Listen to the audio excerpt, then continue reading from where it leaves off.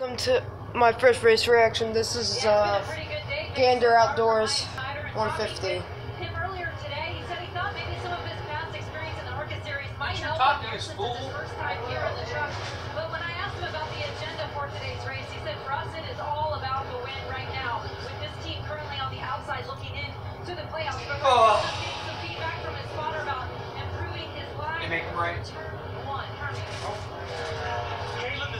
16 could be having engine trouble again. We just mentioned. Oh, snap, Brett Moffitt. He is now saying when he's letting off the throttle, it is vibrating on the racetrack. They're going under the hood at 16 years on pit road with potentially another engine issue for Brett Moffitt. Mm-mm-mm. This is highly unusual. It's the tundra, Dad.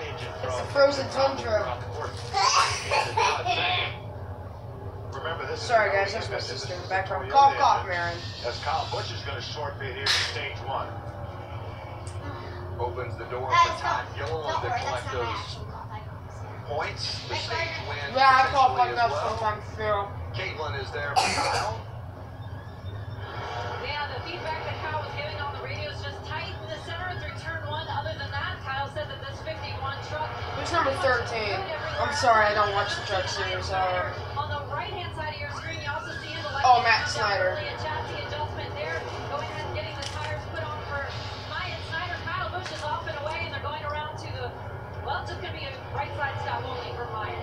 Yeah, they had a problem on that right front. Yeah, my now they've picks are with just- 16 of Moffitt who had come in. They raised the Oh, what's wrong with now Moffitt? Moffat, after departing his pit box, has put it in reverse and heading back. Toyota Tsusho. looks like the That's a. Japanese word, but I don't know what it means. For this team, Oh, he's going to the trying to get ready garage. make their way into the playoff and struggling to Whoa! The good news for Grand 16 finger knows that they on have three wins John Hunter Nemechek. So not a problem for them. But how about Erik Jones, who hopped in this truck, hadn't been in it at all all season long, jumps in for no Erik correction Jones? to and Erik Jones drives. Erik Jones is in the row 18 to and 7 fourth. Noah Gragson. Yeah, Wow. 13 laps. 13 laps to do it, though. That's...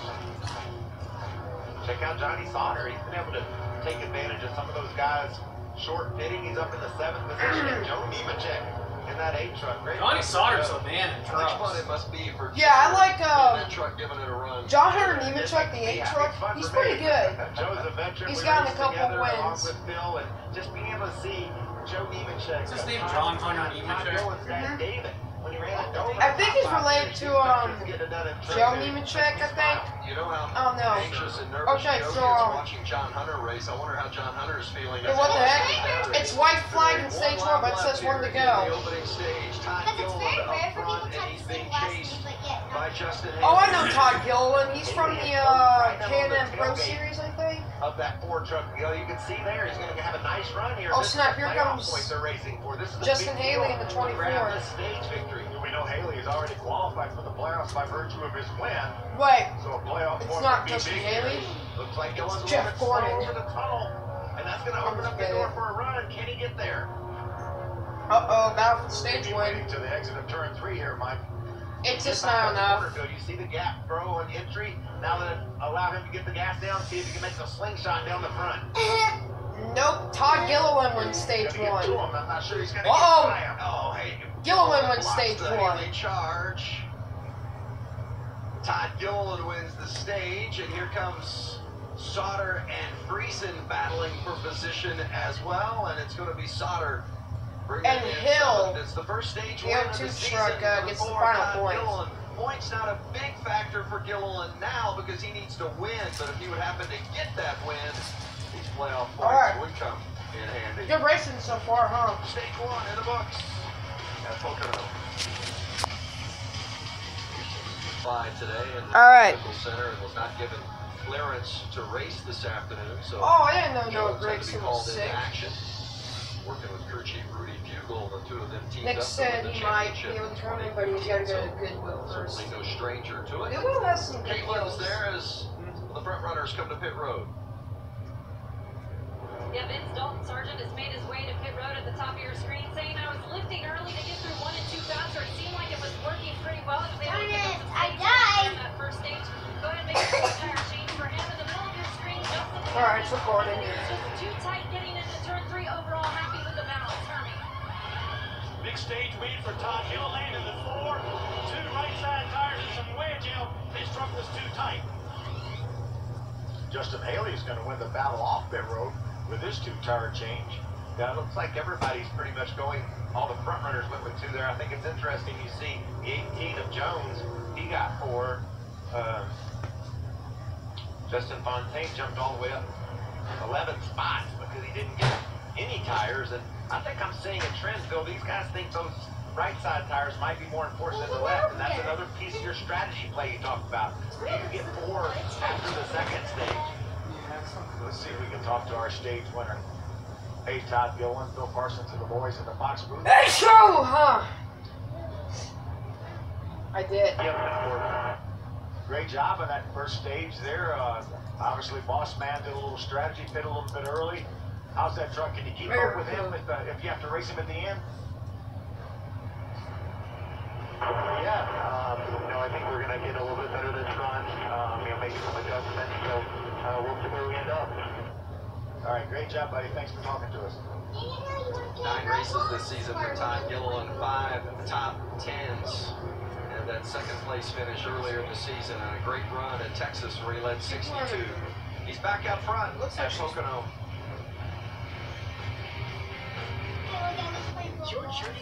Journey to discover again, I would think a lot of All right. these guys, when we talked at the top of the show, will short bid this next stage and try to go to the end.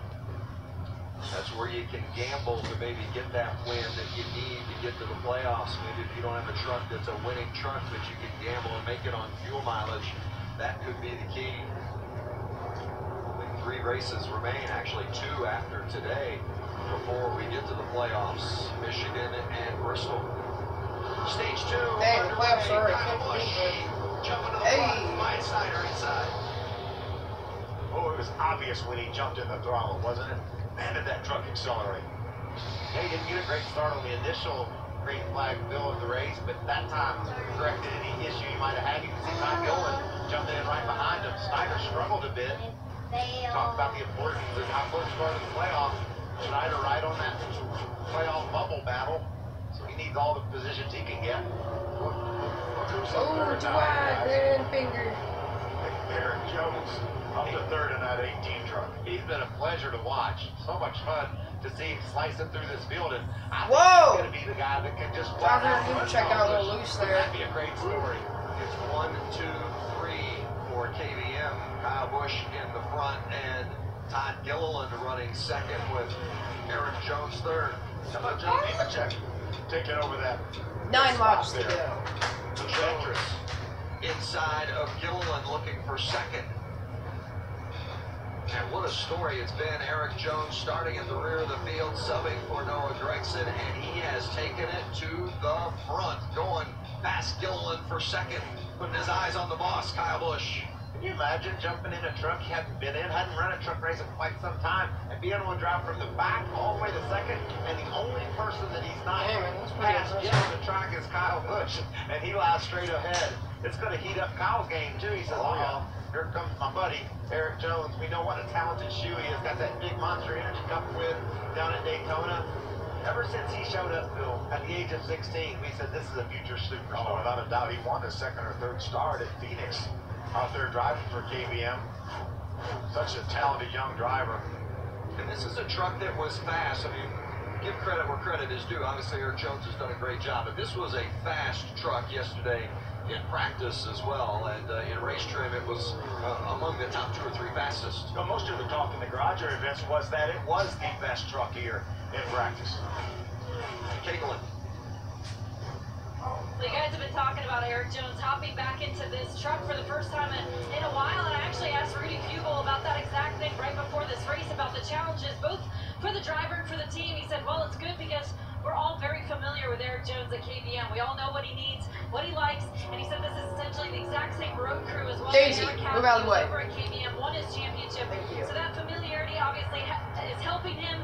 The only thing he has said recently is that he's a little bit tight, but overall, Erik happy with with the balance of that 18 truck right now, Vince? No, there couldn't be a, a more comfortable situation considering the circumstances to what this team's dealing with. Yeah, without a doubt. I think the only possible uncomfortable thing was is how quickly uh, and how good he got the seat to fit because these it's not like it used to be. Used to I could have got Michael's seat raced back in the day and vice versa. It's not like that anymore. These these seats are custom made to these drivers, and so obviously they've done a great job fitting Erik into that truck. Dalton Sargeant on the move inside of He's Ty gonna pass Gilliland Todd for third. This is a huge day for Sargeant. Jeez, Man, man. he I'm is sorry. pouring it on. He gets around Gillen. Two A rookies lot of speed battling in the 25 third. truck, and we've talked about how he's just steady and consistently puts down top 10 finishes and runs well in the truck. But I think this might be a big charge for him to be able to get around that KBM truck. Man, Not these only stages are kind of. Kyle Busch continues to lead as we're closing in on the end of Oh. stage two. We're going to break, but you won't miss a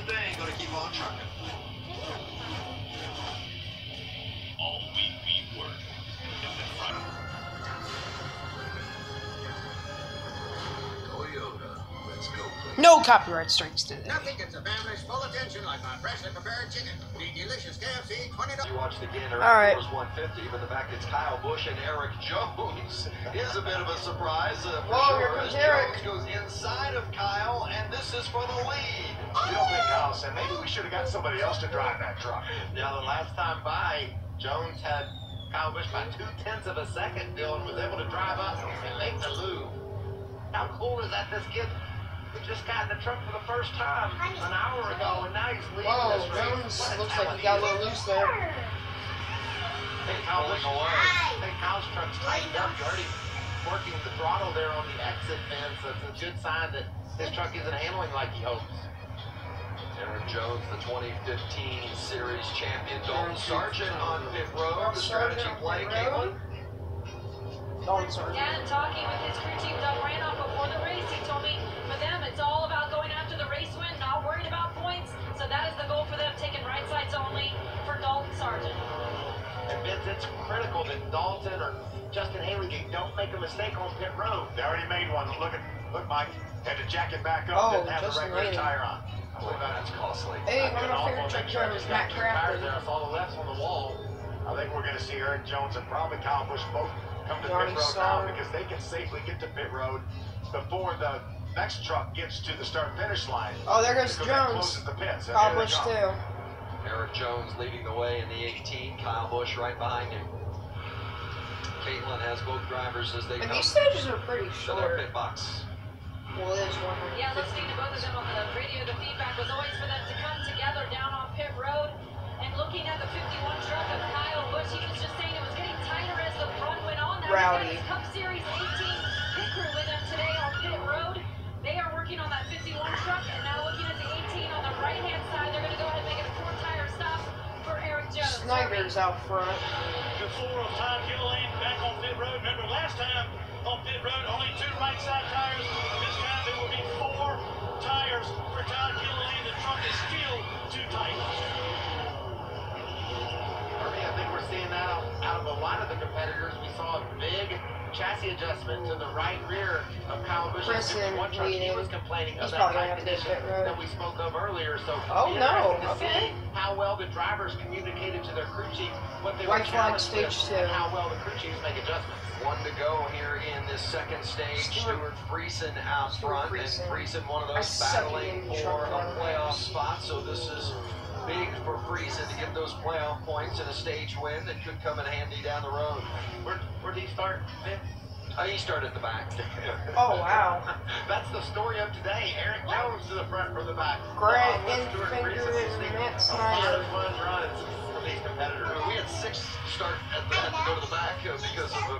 of adjustments, so we didn't have much of a middle part of the field. There I'm just gonna call him Matt Snider. Grant Enfinger took over that second spot from Myatt Snider. Remember, Grant Enfinger, Stewart Friesen, Matt Crafton, all battling for the sixth, seventh, eighth positions in the playoff standings. You know, those drivers are all keeping an eye on one another. Crafton, Friesen, All right, Finger, because they all want to Friesen finish ahead wins stage of the others that they're battling in points if they by chance don't get the race win as Stewart Friesen collects stage win number four this season. We saw Justin Haley right in front of. Stewart Friesen. He barely stayed on the lead lap, guys.